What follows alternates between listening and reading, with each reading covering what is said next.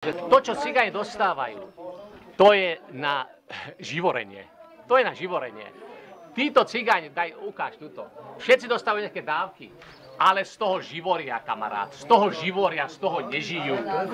Z toho nežijú a preto kradnú a sú nútení. Takže, počúvaj, Marianko, čo ty robíš, Marianko? Ty keď toto povieš, že cigáni dostávajú viac ako učitelia a sa pracujú ľudia, ty vlastne obhajuješ tento fašistický režim. A ako ho obhajuješ? No tak ty tu vyzdvihuješ tú biedu cigánov nad biedou učiteľov, nad biedou čestne pracujú ľudí. Nie, kamarát, to je takto.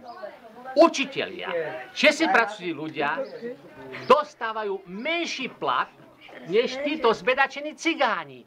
Takto to musíš postaviť. Takto celá vec stojí. A nie, že cigáni dostávajú viac ako, ako učitelia, kokot. Učitelia dostávajú menej, než títo pojebaní cigáni, ktorí tu živoria.